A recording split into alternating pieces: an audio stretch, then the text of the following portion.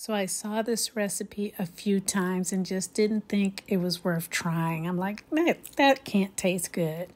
But all it is is that can of sweet condensed milk placed in a pot for three to four hours.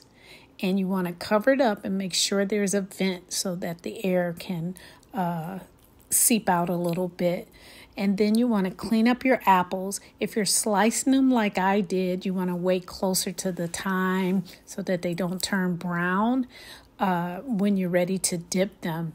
But I rinse off the wax so that it's not slippery. Even organic apples have that wax on them. And then when I slice them, I damp, you know, wipe them with a paper towel so that I could dry them really well. I did make one mistake. I got busy and I let my caramel set and cool longer so it stiffened up. So I just put it in a microwave on 15 increments, seconds, and uh, just kept stirring and stirring until I got it loose. It could have been a little looser than what I'm showing here, but I was fine with going ahead and dipping it in a thicker sauce like that.